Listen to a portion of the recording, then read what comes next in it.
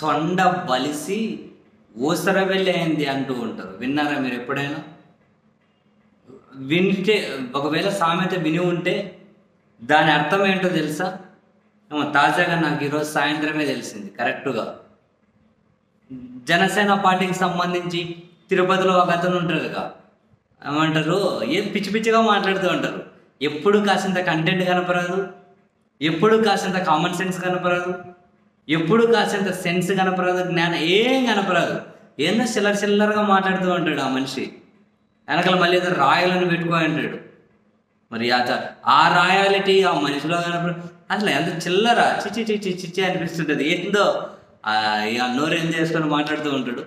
ఆయన ఆయన మాట్లాడిన తర్వాత ఈరోజు సాయంత్రం నేరుగా ముఖ్యమంత్రి జగన్మోహన్ రెడ్డి గారి పుట్టుక మీదనే ఆయన కమెంట్ చేసి ఏదో వాళ్ళ తాతగారి గురించి అది ఇది అని చెప్పి అక్రమ పుట్టుగా జగన్ గారిది అని చెప్పి ఏదో మాట్లాడుతున్నారు జగన్మోహన్ రెడ్డి గారి అక్రమ పుట్టుగా అని పవన్ కళ్యాణ్ గారి అంటే తను ఏ విధంగా భార్యను మార్చారు అనే దాని మీద జగన్మోహన్ రెడ్డి గారు ఈరోజు కమెంట్ చేశారు కదా.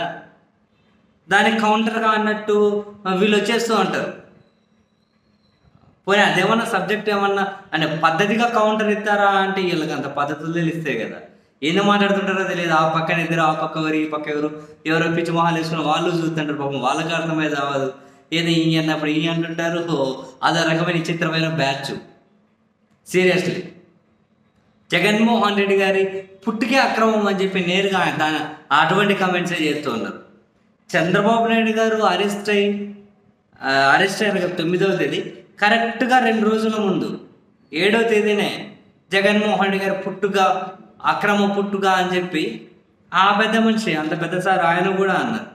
పిచ్చి పిచ్చి కామెంట్స్ ఇప్పుడు ఈడు వీడోడు వీడొకడు ఏదో చదువుతున్నాడు నీ చరిత్ర బయట పెడతావు రే బాసుగుల ఇందిరాబాబు నిజంగా. అంటే వీళ్ళు ఏమైనా అనుకుంటుంటారేమో. రెండు చోట్ల పోటీ చేసినటువంటి మా అధ్యక్షుడు పవన్ కళ్యాణ్ రెండు చోట్ల ఓడిపోయి ఆ వ్యక్తి జగన్ నీ స్థాయి అంత నువ్వెంత అంటూ ఉంటాడు? మనము అదే పరిస్థితి కదా. మనము అంటే తప్పేముంది అనుకున్నాడేమో తెలియదు కానీ ఇట్లా. అది ఇప్పుడు తొండ ముదిరి ఊసరు వెళ్ళే అయిందని చెప్పి ఎందుకు అనాల్సి వచ్చిందంటే ఇతర మంత్రి రోజాగర్ మీద నోటికి ఏదొచ్చేది మాట్లాడుతూ ఉంటాడు. తొడ సంబంధాలు ఉంటాయంటాడు నువ్వు తిరుమలకి ఎందుకు పోతావో తెలుసు అంటాడు ఈ పోతావు ఏం చేస్తావో తెలుసు అంటాడు అసలు భరించలేము. వాడి పడేసిన కట్రాయాలు పంపిస్తా వాడుకుంటావా అంటాడు.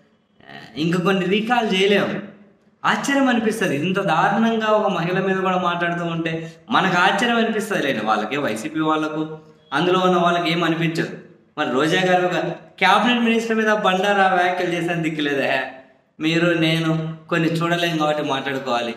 ఇంకా వీడు ఒకడు ఇట్లా మాట్లాడుతూ ఉంటే రోజా గారిని కూడా అప్పుడు తిరు ఉమ్మడి చిత్తూరు జిల్లా అందరూ అనుకుంటారు. మనం మనం మన జిల్లా కాదు మనకు అక్కడ తెలియదు కాబట్టి తెలియదు కానీ రకరకాల సోర్స్ నుంచి తెలుసుకుంటాం కదా ఏంటి ఇంత దారుణంగా ఎందుకు మాట్లాడతారు ఏంటి అని. అప్పుడు మనకు తెలిసింది ఏంటి ఓ జిల్లాకు చెందినటువంటి ఒక సీనియర్ మంత్రే ఈయన మీద ఈయనకంటే వాళ్ళని ఇవ్వడని రోజా గారిని వ్యతిరేకించే వ్యతిరేకులందరూ కానీ ఈయనతో మాట్లాడుతుంటారని చెప్పి రకరకాలుగా చెబుతారు. నిజమేనని చెప్పి చాలాసార్లు అనిపిస్తుంది ఎంత దారుణంగా మాట్లాడి ఒక కేసు కానీ ఫైల్ అయ్యే పరిస్థితి ఉండదు. తిరుపతిలోకి వచ్చి మాట్లాడుతూ ఉంటారు. ఎప్పుడు తిరుపతి ఎమ్మెల్యే గురించి అయితే ఎప్పుడు కమెంట్ చేయరు. పొలిటికల్గా కూడా. మరి తిరుపతి ఎమ్మెల్యే మీద చేస్తే? మరి అంటే ఆయన వణుకు భయమో మనకు తెలియదు కానీ పక్కనున్న రోజా గారి మీద అయితే విచ్చలు విడితనాన్ని ప్రదర్శిస్తూ ఉంటారు. ఇప్పటి వరకు రోజా మీద ప్రదర్శించారు. ఇప్పుడు నేరుగా సీఎం గారి పుట్టుకే అక్రమం పుట్టుక అని చెప్పి మాట్లాడారు. రోజా గారి మా మీద మాట్లాడినప్పుడు తొండ నేరుగా సీఎం దగ్గరికి వచ్చేసరికి బలిసి ఓసరి వెళ్ళింది. అని అందుకే అన్నా. తొండ బలిసి ఊసరు వెళ్ళి అయింది అని. అరే బొబ్బరి వచ్చేసి సీఎం గారు నేరుగా పుట్టుకల గురించే మాట్లాడుతున్నారు. మరి ఎంత తోపులో వీళ్ళు?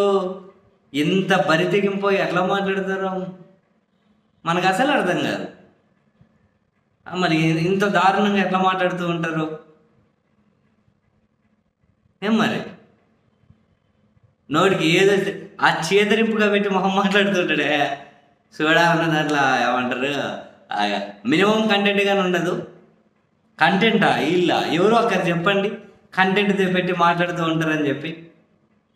ఆ డిబేట్లలో వచ్చేవాళ్ళు నాలుగు తిట్టు తిట్టడమే సోషల్ మీడియాలో మన గుర్తింపు అని చెప్పి అనుకుంటూ ఉంటారు.